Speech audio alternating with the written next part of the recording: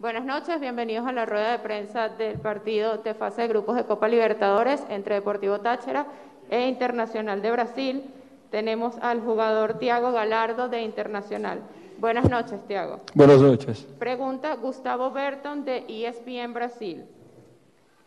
¿Qué ha balizado você fizeram no vestuario? ¿O Inter sabe exactamente por qué perdió o por qué no juega bien fuera de casa? O Inter joga muito bem dentro e fora de casa. O problema são os campos que acabam nos atrapalhando. Não gosto de dar desculpa, muito menos de usar muleta, mas é muito sabido que quando a gente pega campos bons, do nível do internacional, a gente consegue fazer o nosso jogo da forma que nós queremos. É, como eu disse, não tem muitas desculpas, perdemos o jogo, campo muito pesado, muito difícil de jogar, umas 5, 6 tipos de grama, mas nós somos muito fortes em casa fazer o nosso dever de casa, ainda temos um jogo fora contra o Olímpia. Sem dúvida nenhuma, a gente pode trazer essa responsabilidade para nós que nós vamos classificar. Pergunta Lenon As, de Rádio Acústica FM de Brasil. A derrota de OC coloca uma responsabilidade maior ainda de vitória sobre Olimpia la próxima semana, fora do casa.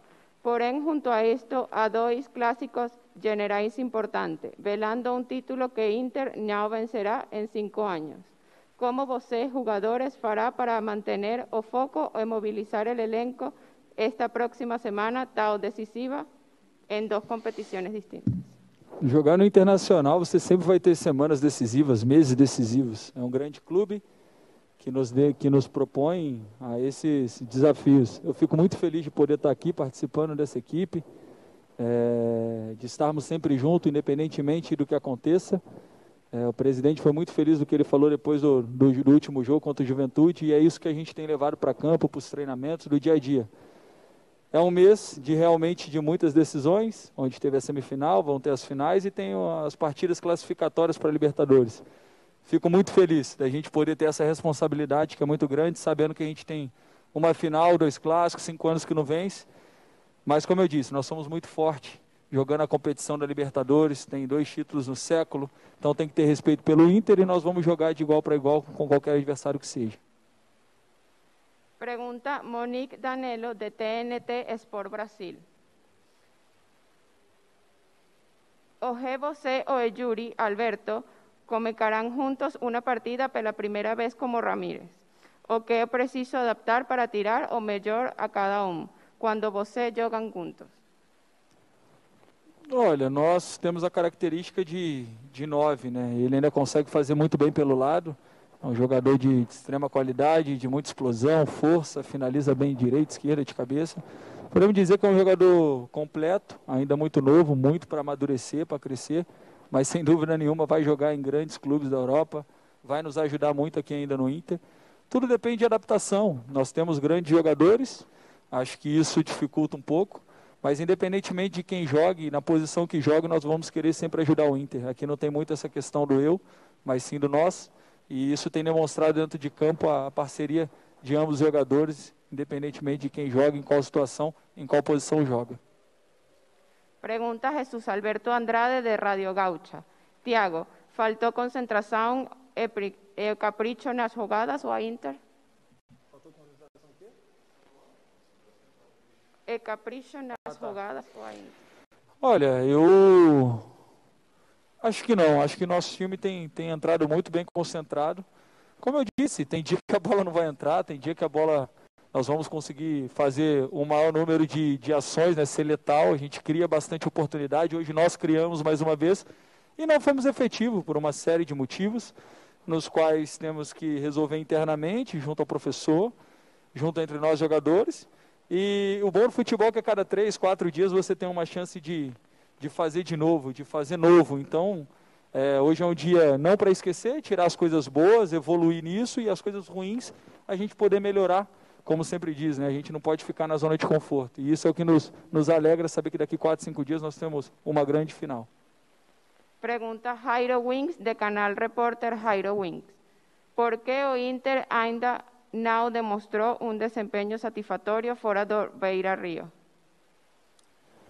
Olha, eu acabei de responder isso, né? Não sei dizer o que, que é.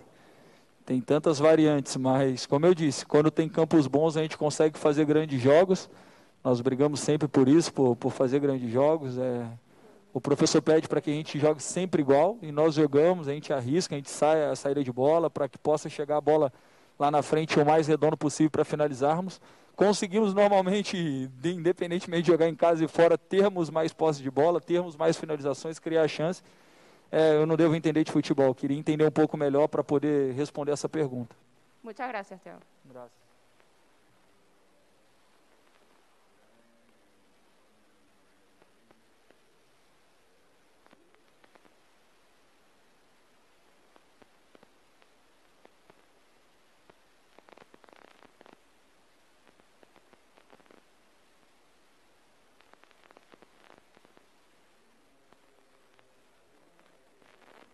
Pero es, grabada. Es grabada. Pero esa la cargan ahí mismo en unos minutos en la misma web. ¿Oíste? En la web de Conmebol. Y después en YouTube. Tú me dices. Recibimos al técnico de Internacional de Brasil, Miguel Ángel Ramírez. Buenas noches, profesor. Pregunta Casio Shaab de Radio Galera. Ficou muito claro que el desempeño como visitante en Ñao es el mismo como cuando yoga en Beira Río. ¿Você ha conseguido hacer un diagnóstico sobre esta situación? ¿Existe un factor determinante? O sea, yo creo que hoy eh, estábamos haciendo un buen partido, eh, incluso nos conseguimos adelantar en el marcador, eh, reflejando esa diferencia en el juego. O sea, creo que merecíamos eh, adelantarnos porque estábamos eh, generando. Y creo que con el pasar de los minutos eh, nos el campo nos fue comiendo piernas. Es decir, eh, fuimos, eh, creo que acumulando también cansancio de, de- de toda esta secuencia de partidos que hemos tenido que llevamos cuatro jugando al tercer día. Eh, y, fisiológicamente a las 48 horas el, jugador es cuando más cansado está.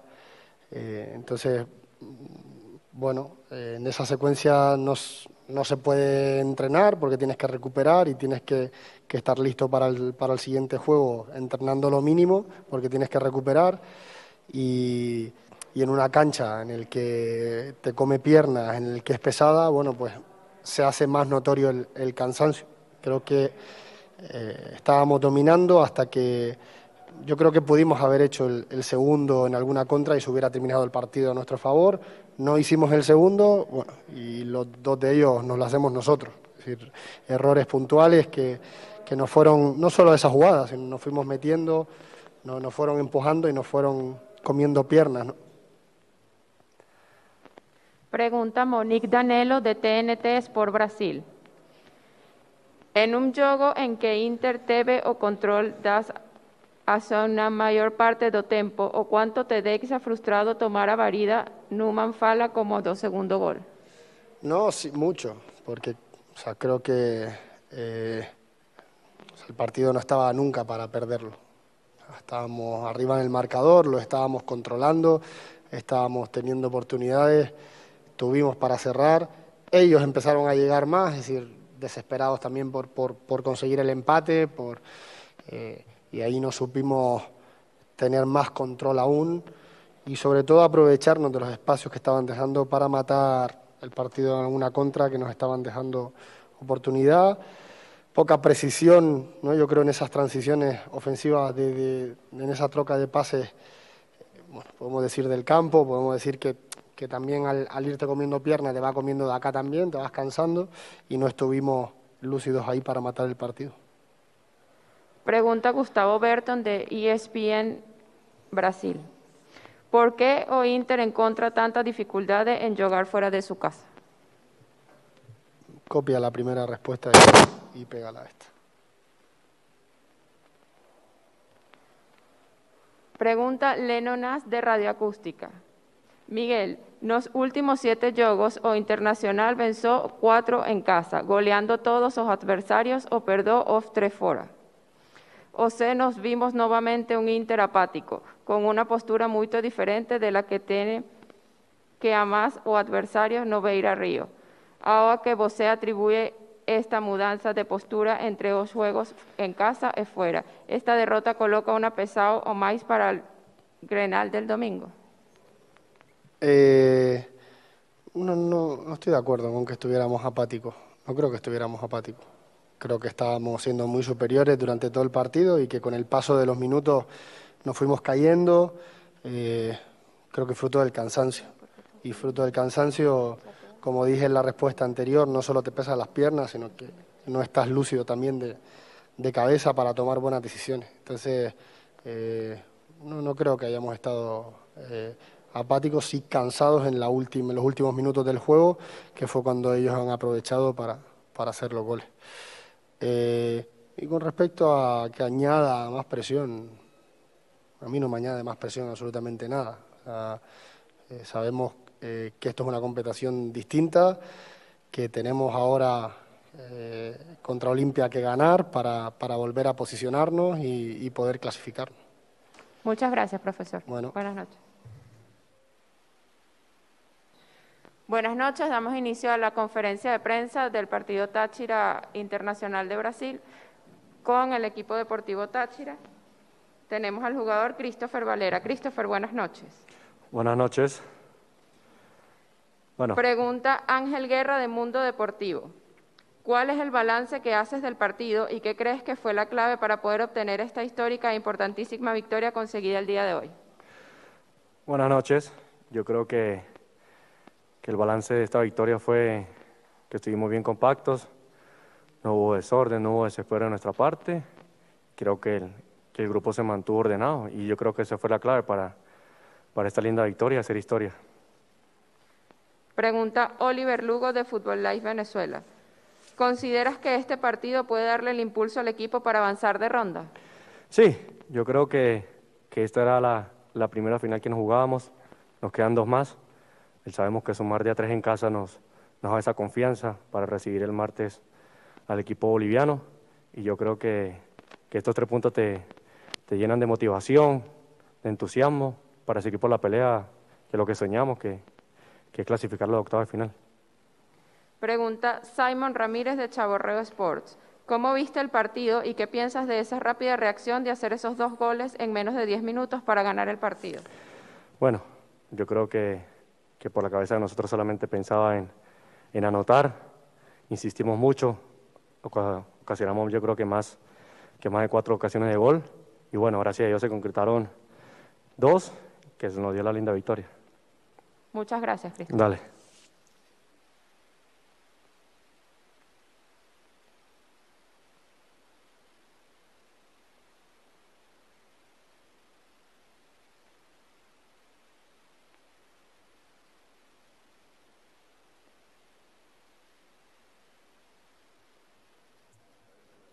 Buenas noches. Disculpa. Buenas noches, tenemos al profesor Juan Domingo Tolizano, técnico del Deportivo Táchira. Profesor, pregunta Ángelo Guerra de Mundo Deportivo. ¿En dónde piensa usted que, que, estuvo la clave para que el equipo lograra mantener la calma y esperar el momento justo para irse al ataque y poder obtener el gol, obtener el gol del empate? Bueno, creo que en la convicción de los futbolistas de cómo jugar el partido, Sabíamos a quién enfrentábamos, un equipo que tiene muchos argumentos, que nosotros en nuestro campo tenemos situaciones en el juego que siempre nos llevan a, inclinar la balanza a nuestro favor y había que tener paciencia, mantener el resultado lo más corto posible, porque si no podías de, de entrada poder manejar el partido con el resultado a tu favor, había que ser muy paciente, no perder la calma, porque ellos son un equipo que si te va ganando después trata de meterte la estocada final para, para ya no, eh, como dicen por allí, liquidar el partido. Entonces nosotros creo que a pesar de, del gol eh, en contra, tuvimos paciencia, tuvimos tranquilidad, pudimos ser ordenados, tratamos de trabajar bien eh, en, el, en el aspecto defensivo y después sabíamos que teníamos que atacar con contundencia y con fuerza apareció una jugada mm, con complicidad de ellos y después, bueno, creo que el mérito correcto de Douglas Arangarita de no desistir y, y, ir por la pelota para, para que fuera infracción del golero, ¿no? Pregunta Edgar González de Pase Gol Podcast. ¿Qué buscó con el ingreso de Nelson Hernández en la segunda mitad? Velocidad en la banda, eh, ganar eh, en ese sector. Creíamos que podíamos hacer un poco más de daño mm, con, con Nelson en, ese, en esa zona del campo y que siempre para nosotros ha sido un buen revulsivo la posibilidad de contar con él en el sector derecho. Pregunta Gregor Castro de Fútbol de Barrio. ¿Cómo se siente el equipo anímicamente tras el triunfo que lo deja con las posibilidades en la competencia?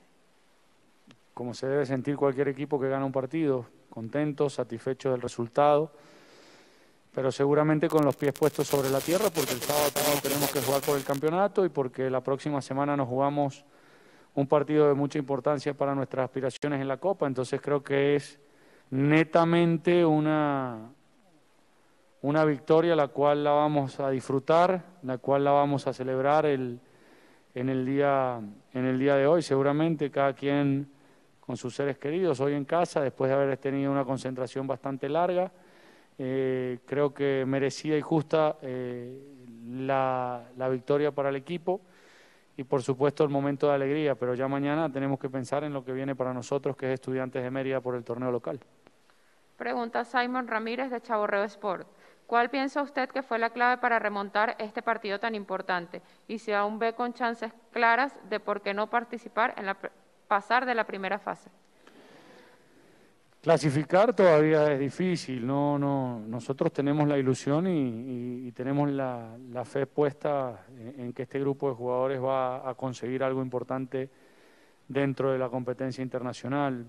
La clave eh, en el partido, como te digo, la paciencia, eh, el no perder el orden, el, no perder la cabeza, el estar siempre bien estructurados. Entonces creo que allí está la clave de lo que significó el triunfo. Y después la ilusión de, clasificar, no la perdemos nunca, no la hemos perdido desde el día que arrancó el sorteo y desde ahí empezamos a soñar con la posibilidad de pelear el grupo y de poder estar eh, hasta la última jornada con la, con la intención de clasificar. Ojalá podamos conseguir los resultados que los vamos a buscar con inteligencia, como lo hemos venido haciendo hasta ahora, y aprovechando nuestra localidad para tratar de conseguir el próximo partido y después veremos qué pasa en la última fecha. Pregunta Ángelo Guerra de Mundo Deportiva Soberana 103.2. ¿En dónde piensa usted que estuvo la clave para que el equipo lograra mantener la calma y esperar el momento justo para irse al ataque y poder obtener el gol del empate? Los futbolistas, yo hago un planteamiento con mi cuerpo técnico, decidimos cómo vamos a hacer la puesta en escena del partido y después quien la desarrolla y quien maneja todos los conceptos son los jugadores. Adentro de la cancha había un convencimiento, adentro de la cancha había una idea, había una propuesta, había una intención y creo que la pudieron desarrollar de la mejor manera. Muchas gracias, profesor. A ustedes, feliz noche.